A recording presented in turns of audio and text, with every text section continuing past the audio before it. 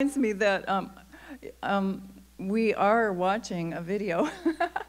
Praise God. And as we um, take in the word in this, every now and then we have no choice in this. There may come an advertisement, and they're gonna. and so they're going to try to mute it or whatever when we get to that point. But just so you'll be forewarned, it's like we didn't plan it that way. It's just that that's part of the program. So. So I wanted to, it's Rick Renner, and he's a Greek scholar. And so, with what we've been talking about, um, it was two years ago, um, I had uh, our ladies' meeting watch this. It's not the exact one, but it's the same teaching. And so, it's, it's very impactful, it's very powerful. Um, and so, I believe it, it will just truly minister um, to each of us. You know, that's a wonderful thing. Even in the song that we just sang, you know, he knows our name. He's so personal. He's such a personal God. He loves us so much. Um, and so I just, that's why I have us watching this um, tonight. So kind of put your thinking caps on because he really um, goes into detail and explains. Yes, he really, really does. But this is going to help us. It's going to help you, honestly, to learn what you're going to learn tonight is going to help you for the rest of your life. I'm telling you. Wouldn't you say? Oh, yeah. Yeah. It's like, it's like what I was saying in the beginning. He's, he loves us so much, he gave us everything that we need. And so, a lot of time, I mean, it was a huge day in my life when I found out that there was something I could do. I didn't have to just sit around and wait on God and wonder why he was so slow in moving or whatever I was thinking at the time. He gave me things in the Word that I could do to, it says, partake of that divine life. That's what it says. We partake of the divine life because we learn about Him through His precious promises that He gave us. And so that's part of this equipping that, that He's teaching on. And one of the things that, one of my favorite things about this teacher um, is that he's not only an awesome teacher, he's brilliant, but he also takes it, it's not just learning, he takes it to a practical application. And so we can do it, like Pastor Angie said, the rest of our life. That's what, and we can teach our kids we can teach everyone around us. It's, it's like something to combat. God's got a fabulous plan for us, and um, the enemy tries to derail it. So this is just, we're more than equipped. Praise God. He's more than enough, and he, he made us more than equipped because He's in us. So praise God. That's what we're watching tonight. So you can be seated. And, and let's just pray also. You can be seated and we'll pray. Father, in Jesus' name, we thank you for your good plans. We love you, Lord God, and we're so glad you do know our name. You know us intimately. You know us and we're yours. That's, that's amazing, Lord God. We're yours. We love you and we thank you and we open up to what you have for us. We open our hearts to you. You are only for our good. Everything you do is for our good. And so we open up to you and we're going to learn everything you have for us. And you're going to show us, Holy Spirit, how to apply that. We thank you, Father, in Jesus' name. Amen.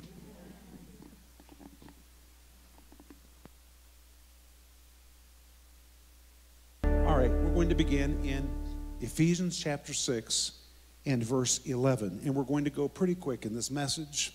Ephesians chapter 6 and verse 11. It says, Put on the whole armor of God that ye may be able to stand against the what? The wiles of the who? Devil. Today I want to talk to you about how the devil operates. I want to unravel the mystery about how he attacks people. Because if you understand how the enemy operates, then you can recognize his operation. And if you understand it explicitly, then you can understand where you are in the process if you are under attack. And there are five basic words in the New Testament that if you comprehend these five words, you will understand everything about how the enemy operates. And so today, I want you to write down these five words. Number one, the name devil. And we'll be coming back to every one of these in just a moment. Number two, the word wiles. Number three, the word stronghold. Number four, the word oppression.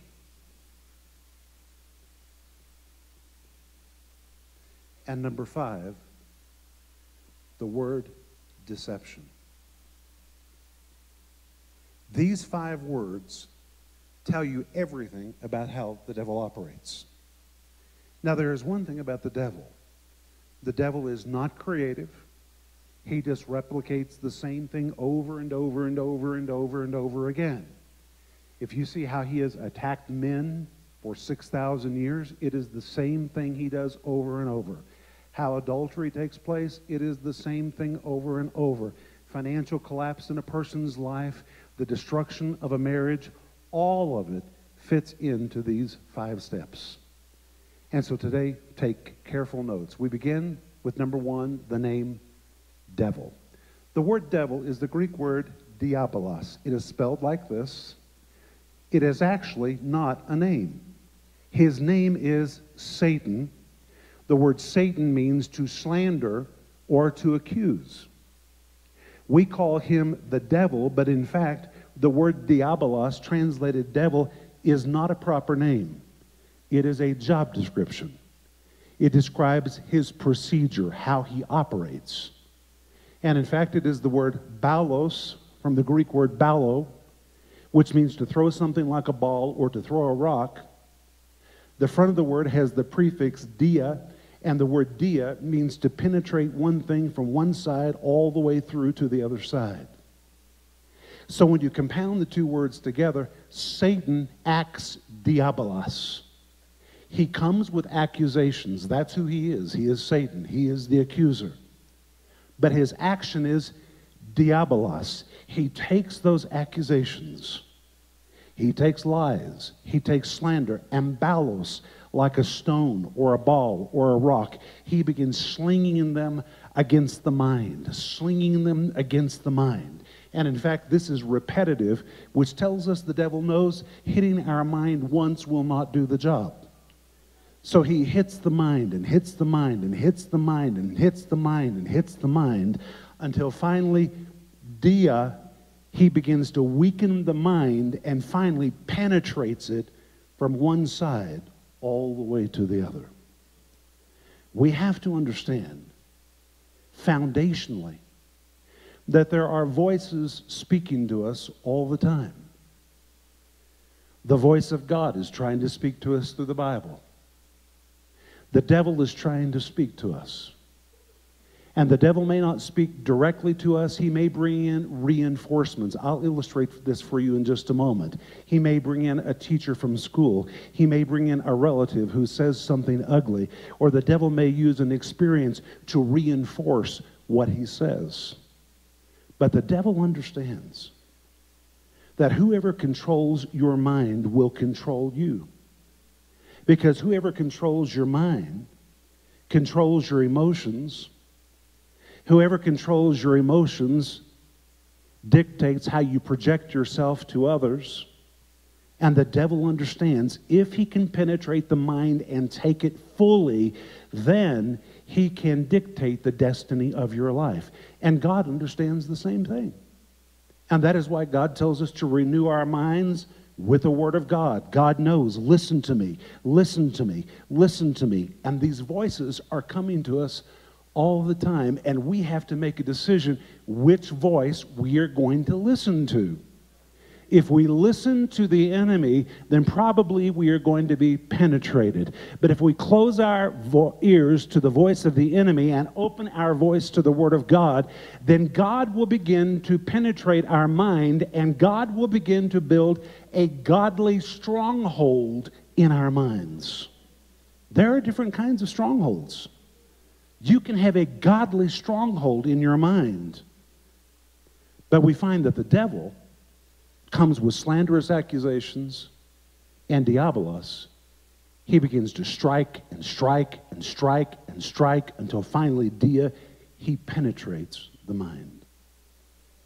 Then we come to the word wiles. The word wiles is the Greek word methodos. It is a compound of the word meta and the word odos. Can anybody guess what the word odos is? You have an odometer in your car, right? Odometer comes from this word odos. It's the word for a road. The word meta means with. When you compound them together, they form the word methodos.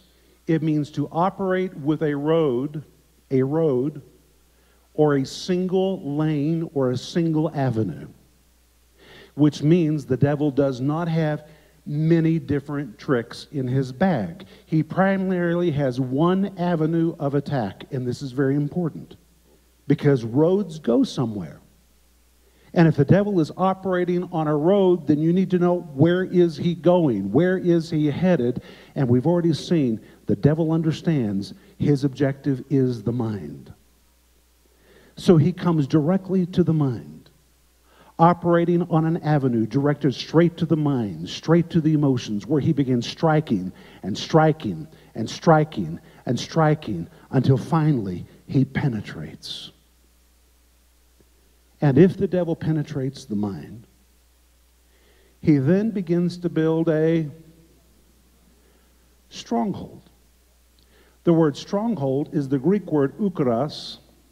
You can find it in 2 Corinthians chapter 10 and verse 4 where Paul talks about the weapons of our warfare are mighty through God to the pulling down of strongholds.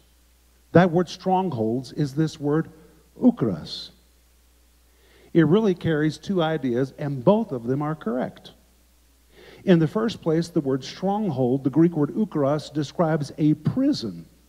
Well, a prison is something that keeps you behind bars. You can see out into freedom, but you are not free. And when a person has a stronghold, a lie that is working in their mind, the devil has penetrated their mind for example, and has said to a very talented singer, Your gifts are not as good as someone else. And that lie enslaves them so they sit in their seats like behind prison bars as they watch someone else sing, knowing in themselves their voice is better, their talent is greater, but they sit enslaved because of a lie that says, You can't do that. You don't got the confidence to do that. You're not as talented as them. Nobody will like you. And this lie literally enslaves a gift that is fabulous. It's invisible but it is a real prison. But this word stronghold, ukras, can also describe a castle or a fortress. Well, Denise and I live in Moscow. And the very heart of Moscow is, anybody know? It's the Kremlin. The word Kremlin means fortress. Why did they build the Kremlin? Why do you build any fortress? Because back in those days, you wanted to keep people on the outside. A prison is designed to keep you on the inside, but a fortress is designed to keep people on the outside. It doesn't matter how hard they bash the walls, the walls are so thick and so defended, uh, the people on the outside cannot seem to penetrate. And likewise, when a person has a mental stronghold, someone can speak to them and tell them the truth. And the person with the stronghold will even say, I know that you're telling me the truth, but it's as though they're behind walls. And even though truth is coming at them from every direction, they can't seem to hear the truth. They can't receive it because there is such a well defended lie that has now been constructed in their minds. And as a pastor, I have noticed through the years that people can have a stronghold in one part of their mind, but not in the rest of their mind. They can be bound in the area of finances, or they can be bound in the area of their self image. They can be bound in one area but free in other areas. But you need to understand the devil is never satisfied just to have one area. Once he gets a foothold, he then begins to extend his tentacles in order to take more territory. Both God and the devil are territorial. They both want more. Then you come to the word oppression, and the word oppression is found in Acts chapter 10, verse 38. Anybody know what it says? how God anointed Jesus of Nazareth with the Holy Ghost and power, who went about doing good and what? Healing all who were what? Oppressed. Everybody say oppressed. All who were oppressed. What, what does it say? All who were oppressed of the devil. Well, the word oppression is the word kata, which describes something that is subjugating or dominating. The second part of the word is the word dunamis. It's where we get the word power. But when you compound the two words together, the Greek word for oppression describes a power that is subjugating, a power that is oppressive, or a power that is depressing someone. It's holding them down. And in fact, the word oppression is the identical word for a tyrant or a wicked king. A tyrant or a wicked king. Well, according to our understanding, where do most wicked kings live? They live in fortresses. So now we find that once the enemy has built a stronghold in the mind, he finds a comfortable place where he sits and begins to speak to us and oppress us, tell us what we will think. He dictates to us how we will feel, what will happen with our marriage, taking this lofty position, suppressing, subjugating, holding us down. And then finally, we come to word number five. I told you this would be fast. This word is found in 2 Corinthians chapter 2 verse 11 where the apostle Paul says we are not ignorant of Satan's praise God it's so good to be with a church that knows the Bible. We are not ignorant of Satan's devices. The word devices is the word nous. The word nous is the word for the brain. It literally means the brain or the mind. But in 2 Corinthians chapter 2 verse 11, the form changes and it becomes the word noe mata. When nous becomes noemata, it's no longer just a brain, but I say it is scrambled brains. It is a brain that has been penetrated and hit from so many angles. It has heard so many voices that it is deceived. It no longer has the ability to perceive what is right and what is wrong because it has been penetrated. In fact, it might hear a lie and believe a lie to be the truth. It might hear the truth and say, That could never be for me. The mind is totally deceived. And this is the end result. And when this takes place, you are taken captive. Now, I'm going to give you an illustration from my life. I've learned through the years it's better to talk about yourself than it is to talk about somebody else. When I was a young man, I was strange. There's no doubt about it. I was a very strange young man. I didn't like to do any of the things that other people did. We were in a Baptist church,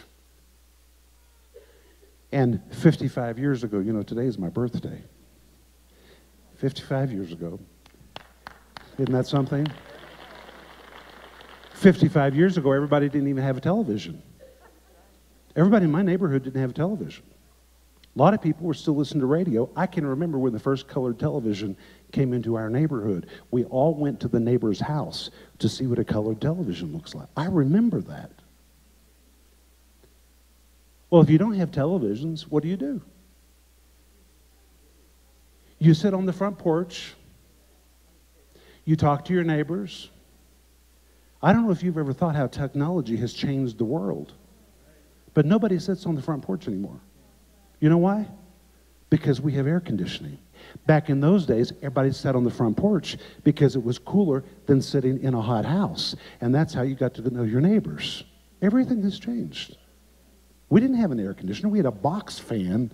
The, a water cooler is what we had. Did you guys have water coolers? I mean, who had air conditioners? You had to be very rich to have an air conditioner. And we basically lived outside. We lived in the yard. We played outside. The church was very involved in sports. Sports. And I hated every kind of sports. And in our church, if you were a man, you liked sports. So my father, like all the other boys in our church, put me into basketball. To me, that was the most stupid, unintellectual thing any human being could do. To run around a sweaty room with a bunch of stinking guys trying to dribble a ball and throw it through a hole in the end of the room. I just did not get it. And I was no good at basketball. I hated it. So my father put me in baseball. Baseball and I was an outfielder. What fun to stand there and just wait for some ball to come flying through the air, maybe in your direction. I was so bored, I would stand in the outfield and try to count four leaf clovers. I was always looking for clovers. We have movies, home movies of the baseball games with me sitting down looking for clovers while I'm supposed to be an outfielder. I have no interest in baseball whatsoever. And it made it worse because my father was a pitcher for a softball team. So I grew up at the softball field. Well, I couldn't do basketball. Couldn't do baseball. Ugh. So dad thought, okay, football. You have got to be kidding me. Knock the snot out of people and call that fun? You think that's fun? Knock each other flat, mess up your head, your legs. What is fun about that? I just hated all of it. I just hated it. I was made different. I liked the symphony. I loved it. I can remember going to the symphony orchestra by myself, a 10 year old boy, sitting there with my ticket, waiting as the orchestra was tuning their instruments, looking around the room that there's no other 10 other children old children here wondering what is wrong with me? Why am I the only 10 year old in this entire auditorium?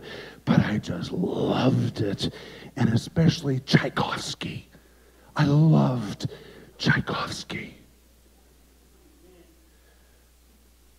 I loved museums. Museums. Oh, culture. Oh. And every Tuesday night, I'd go to Philbrook Art Museum. And all the watercolorists from Tulsa that were professionals would come together and they would paint so spectators could watch their strokes. And every Tuesday night, I would follow the brushstrokes of the painters, nearly hypnotized. I just loved art. And then I enrolled in art painting lessons. I didn't have any boyfriends my age taking art lessons, oil lessons, but I was learning to do landscapes and portraits and still lifes and oh, all that oil paint and brushes. And oh, I was just lost in another world. I just loved that.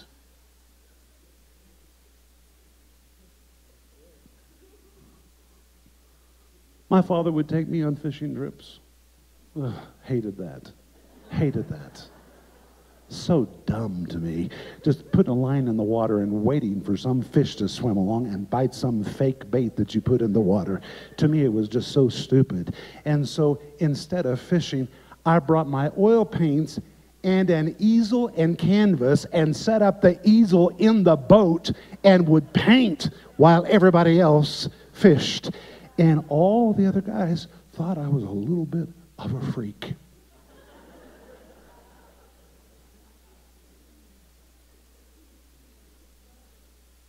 And the devil would say to me, There's something wrong with you. I was so young, I didn't know the devil was speaking to me. I just thought it was my thoughts. There's something wrong with you.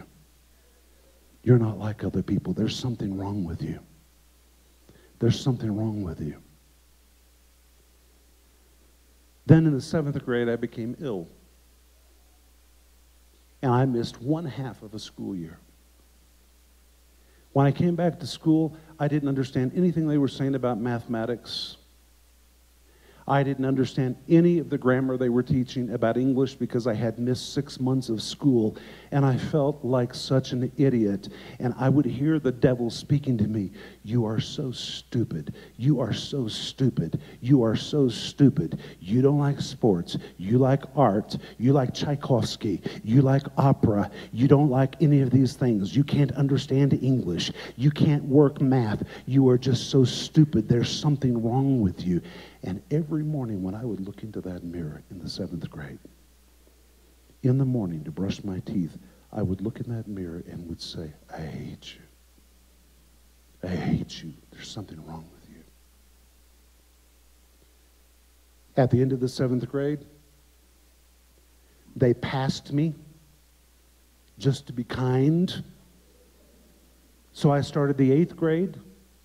But if I didn't understand the seventh grade, how was I going to understand the eighth grade?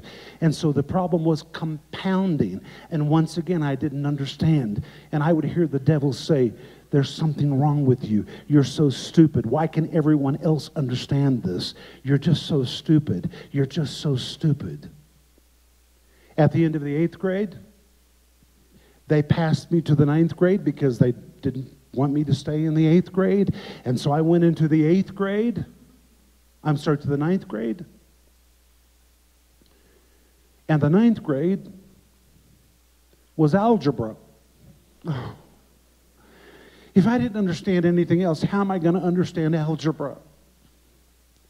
I can recall the day walking the steps to turn right into the algebra class, shaking on the inside because I felt like such an idiot before I ever walked into the door.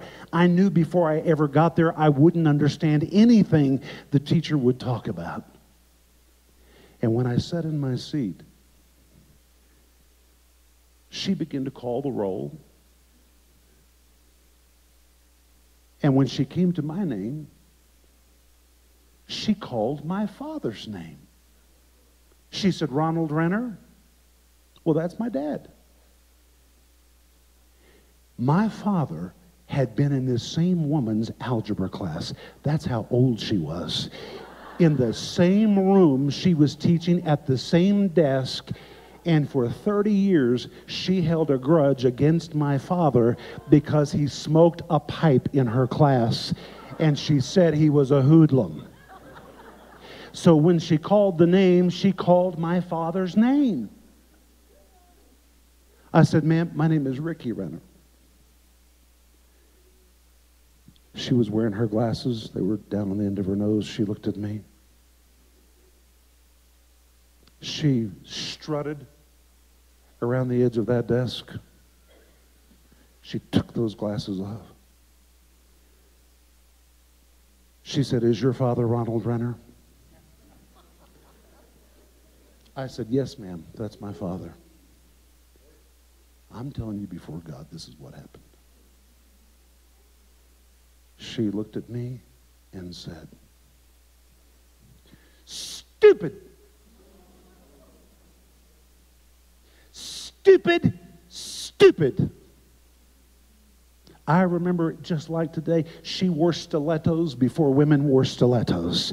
She was up on the ends of those shoes yelling stupid at me. And she said, Stupid is your name in this class. Now, I want you to look how the devil operates. He had already been saying to me, There's something wrong with you. There's something wrong with you. You're stupid. There's something wrong with you. There's something wrong with you. Now, an authority figure stands in front of me and publicly tells me that I am stupid. And that became my name in her class. So every day when she called the roll, she said, Stupid Renner. And I said, Here. If I had a question, her answer was stupid. Do you have a question? Can anybody help stupid? And because it was the ninth grade, all the students thought that was very funny. And so, guess what? I had a new name in the ninth grade. Walking down every hallway, my name was no longer Rick Renner. It was Hey Stupid. Has anybody seen Stupid? Where are you going, Stupid? The devil pounding, pounding, pounding, pounding, trying to take captive my mind from an early age. And do you know what I believe? The devil saw God's call on my life. He was after the call because let me tell you, if there's anything I'm not, I'm not stupid. I'm not stupid. But let me tell you, the devil almost had me convinced. He almost had me convinced. And then in the ninth grade, same year, they came up with this brilliant idea. It was the first time they did it in our school to give job placement tests to the ninth graders. What ninth grader knows what he's going to do with his life? What a stupid thing to do for a ninth grader. We hardly even know how to tie our shoes in the ninth grade, and we're going to determine our profession. So I took my job placement test,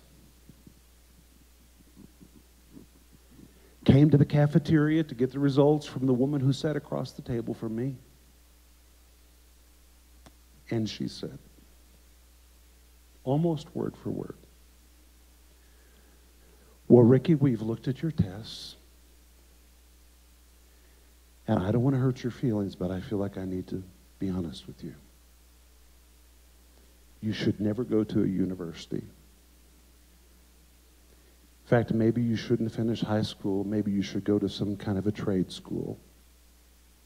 Now, if anybody has this job in this place, don't be offended. I'm just trying to make a point.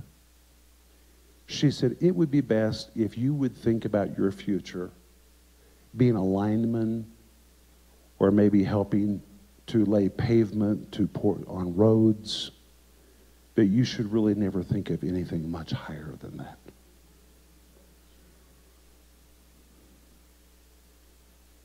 The devil striking my mind, striking my mind.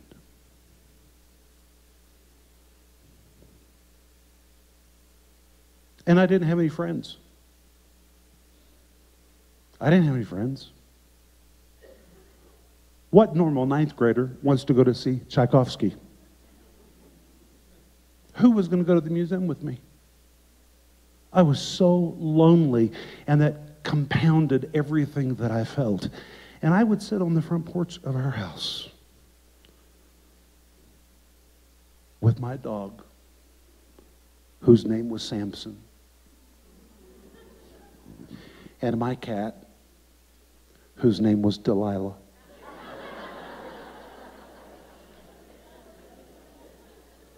And I would sit with Samson and Delilah, and I would say, I'm so glad you're my friends. I don't have anybody in my life. And I'm telling you, friends, this process of the devil striking the mind and striking the mind and striking the mind and striking the mind, I was under major assault. You say, oh, but Rick, you were a child. Same thing happens in adults. Same thing. And you see, when the devil is about to penetrate the mind, is when he brings in reinforcements like a teacher who calls you stupid, or a relative who tells you you'll never amount to anything, or a bad experience which confirms everything you're already struggling with in your head. It's when the devil is assaulting the mind, that's when you have to make a decision to put something else into your brain or a stronghold is going to be built, and the enemy from that place is going to start telling you what your life is going to be. Think about adultery. How does it happen? How does a committed Christian wake up? Do they just wake up and say, I'm going to commit adultery today? No. It's exactly this process. The devil begins dropping a thought into the brain, striking the brain, striking the brain. At first, the believer turns his head, but as it strikes and strikes, he begins to consider what's being said to him until finally a road is paved into his head. And the whole process begins until finally his brain is so confused, he justifies that he can do what he would have never even considered. Why? Because the mind has been taken captive. That's how Christians steal money. That's how Christians don't tithe.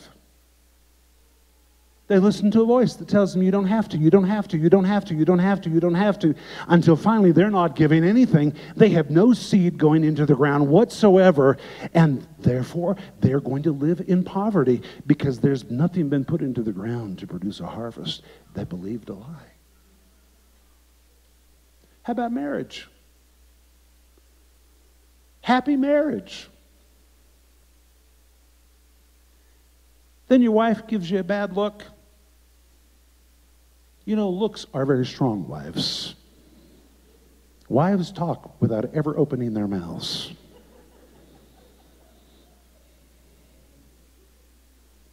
Or the husband says something harshly, maybe not even intending to, but it's perceived as harsh. And the enemy begins to go to work in the mind. He doesn't love you. He doesn't love you. He doesn't. Uh, nobody who loves you would talk to you like that. He doesn't even know he talked to you badly. That's the thing. He doesn't even know. But the enemy has taken something that has offended you now, is ramming it into the brain in order to begin to take you down.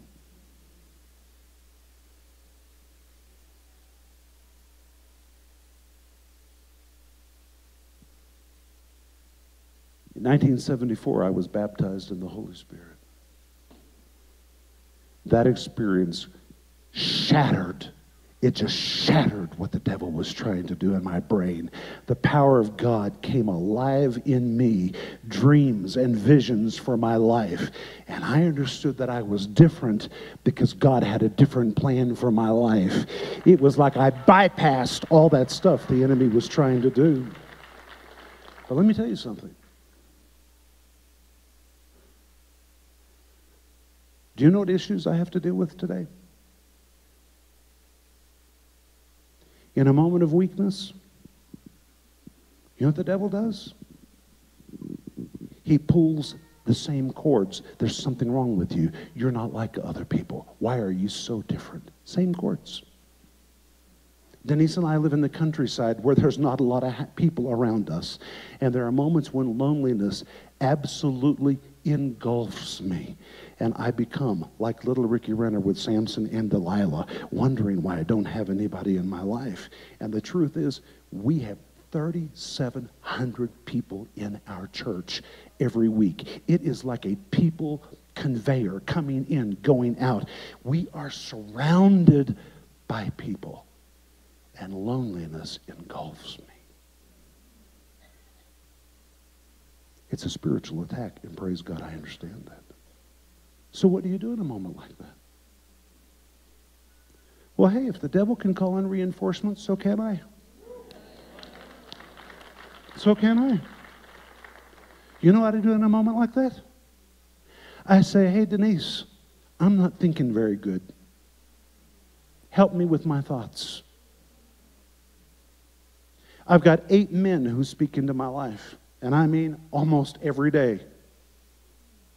God put them in my life to help me. If my thoughts are not thinking right, I say to them, somebody give me a good thought. When we were having to pay cash for our building last year, $5.3 million in 12 months, try to come up with that much money in 12 months. I have to tell you, I had some assaults going on in my mind saying, You're not going to make it, you're not going to make it. I said to the men in my life, Tell me we're going to make it. Don't lie to me, but tell me something that's truth. I need truth. You have to call in reinforcements to help you.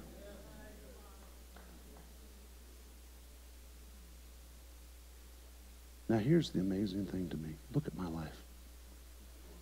Where do I live? Russia, the home of Tchaikovsky. Who am I married to? An opera singer. I own probably the largest private collection of Soviet social art in the whole of Russia, which I purchased in the early years. All those things that were in me is who I am at age 55. It's who I am. Isn't that amazing? And I believe that many of our dreams we have when we're children, it's really the plan of God. The plan of God, the dream of God, until life happens. And the enemy penetrates the mind and says, No, no, no, no, no, no, no, no. You can't do that. You can't do that. You can't do that. But if you didn't have that resistance, a lot of the things you dreamed when you were a child probably is what you would have and who you would be today.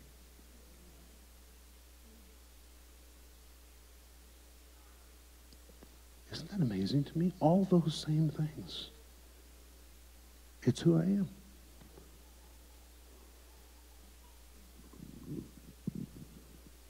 This is the way it works. It's really very simple. The devil lambasting the mind, paving a road into the brain, building a stronghold from which he can dominate and rule, tell you what to think, and tell you what you cannot do. Becomes an oppressive force which holds you back, holds you down, so that who God called you to be is really never expressed. And then finally, you've heard the lie for so many years that you begin to think, well, it was never destined for me. It was just a dream. It could never happen. Yeah, your brains got scrambled. You've believed a lie.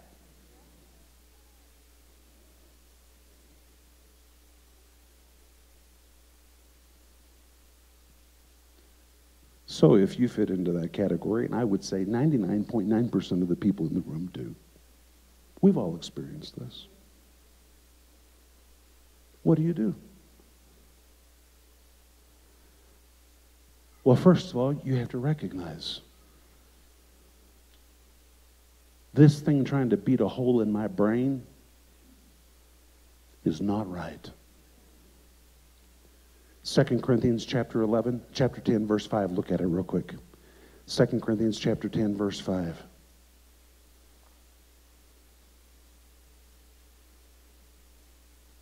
It says, bringing into captivity. What's next? Every what? Every thought that exalts itself against the knowledge of God. So if God says one thing about you, but another thought is trying to tell you something contrary to that, guess what? The contrary one is not right. Every thought that exalts itself against the knowledge of God, God says you're healed. This thought says you'll never be healed. This thought says you're whole. This thought says no, no, no, no, no. This thought says you've been given a good husband. This thought says miserable marriage. This thought says you're going to make it. God gives you hope. This thought says no, no, no, you'll never have hope. It's exalting itself against the knowledge of God. You've got to bring it into captivity. Now, how do you do that? How do you do that? See that phrase, bringing into captivity? I wish I had a Roman sword. You got a sword around here? You have a what? Well, I have a collection of Roman swords. So I brought one to church and I showed people how to take a thought captive. May I use you for a moment? Come on up here, Brother Mark. All right. Roman swords are very sharp. That phrase, bringing into captivity, is the word for putting the point of a sword into the back of a captive. Now, when you have a Roman sword which is so sharp, one little jab would go all the way through the gut of that person.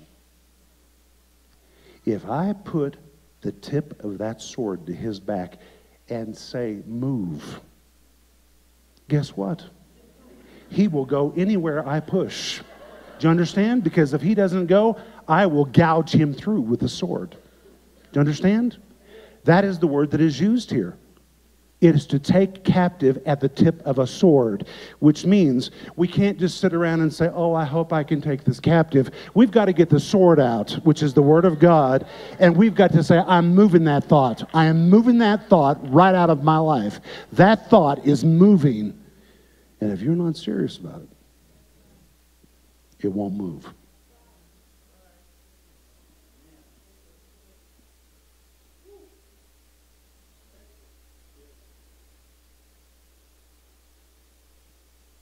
Taking every thought captive and bringing into obedience every thought.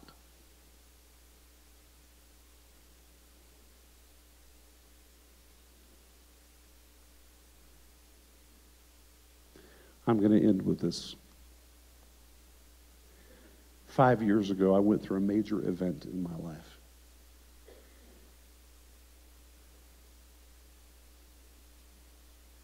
Events are life changing things. I came under such attack in my mind and in my emotions. I knew that there would be no survival. There would be no survival if I didn't take action.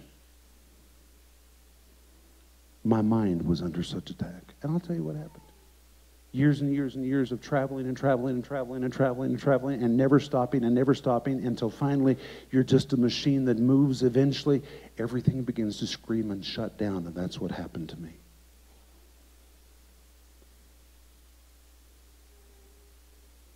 And the assault on my mind. The only way I was going to get out of that is if I built some kind of a structure to deal with my mind. So I made a commitment that I was going to get up and read my Bible every morning, and I was not going to eat until first I ate the Word of God. And if I didn't eat the Bible, then I would not physically eat that day. And begin to pour the Word of God into my mind, pour the Word of God into my mind. Other thoughts were coming into my mind, so I had to choose which thoughts I'm going to listen to. I was thinking so hard. I was bending my brain so hard to the Word of God that I said to Denise, I feel like I can feel molecules moving in my brain.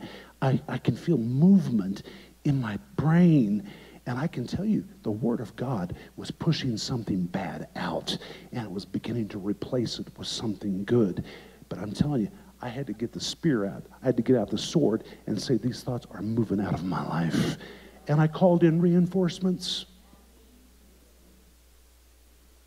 Denise being number one, our sons number two, men of God in my life number three, who got around to me and said, Rick, let's have good thoughts. Let's have right thoughts. God has used you. You're not believing right about your past. And I will tell you that my schedule today is permanently changed. It's permanently changed.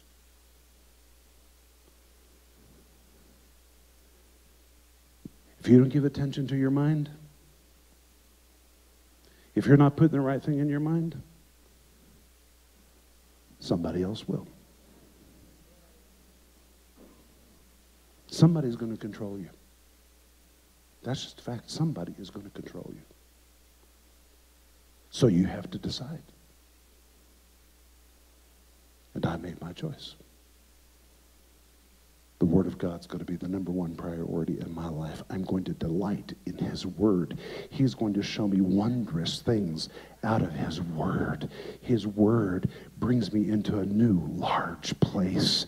The Word of God. When it changes the way you think, it changes what you believe. It, it changes the level of supernatural. It changes what you receive. This is absolutely vital to your life. And that's why it's important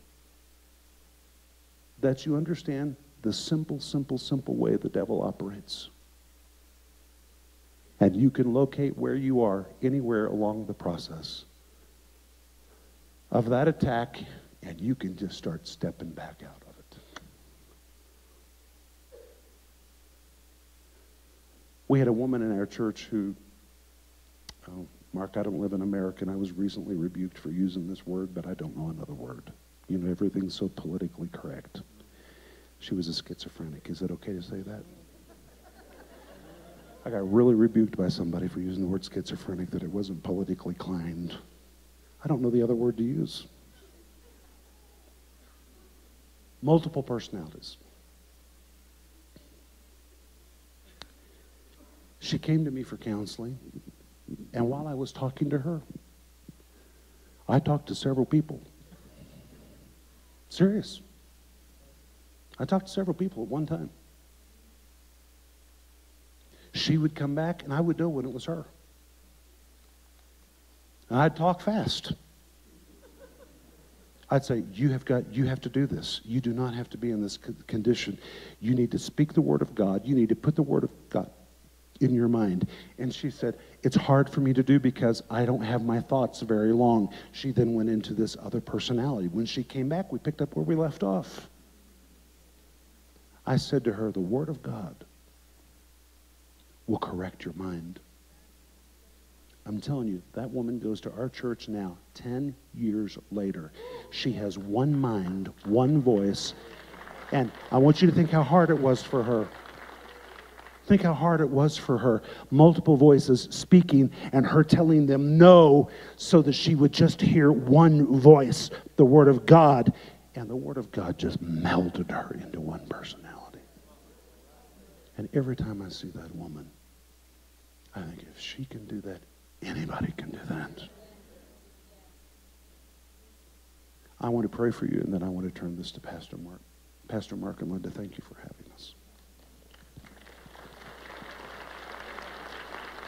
Just reach up and put your hand on your brain.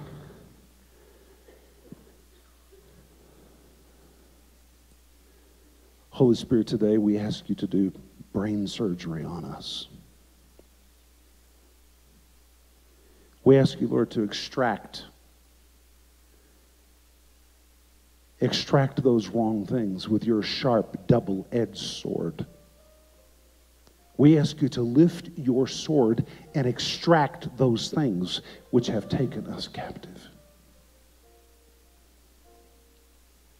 And Holy Spirit, give us the fortitude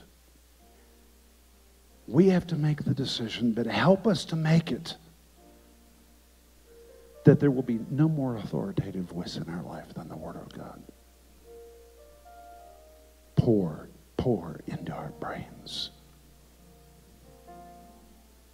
Save us. Help us to think with the mind of Christ.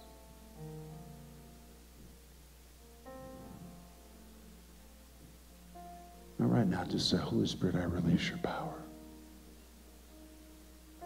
Move into every recess of my mind. Remove every bruise. Remove every lie. Remove the deception. Help me to think right. Bring me reinforcements. the precious name of Jesus. Thank you for listening to this message and for part. Lord, we praise you. We thank you for your word, Lord God. We take your word like medicine, Lord, and we let it work in our lives. Thank you, Father, for your good plans. We give you glory and honor.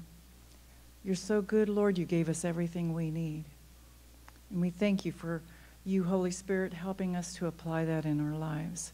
Bring back to our remembrance everything that we learned tonight from you, Lord God.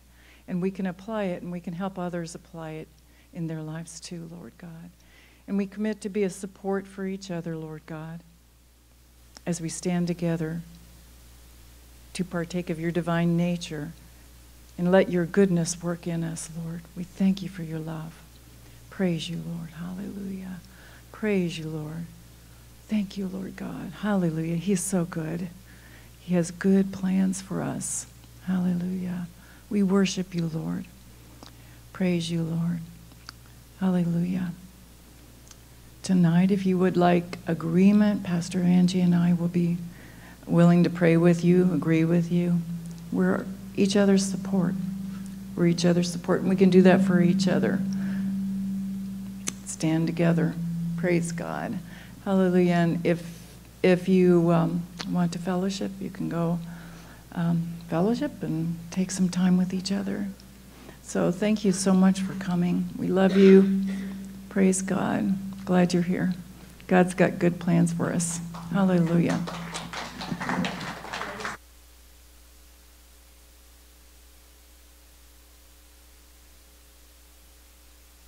December is a really kind of busy time for everyone, so we'll have a January meeting, and then February, um, before, we, we have a large women's outreach in February, the Lord's given me the word, um, um, for that, um, it's an outreach to, uh, our community. Um, and so we'll be needing volunteers and things for that, so we'll have a meeting, um, to let you guys, um, know more about that. But there's something that's just on my heart that I want to say with, um, with what we heard tonight, because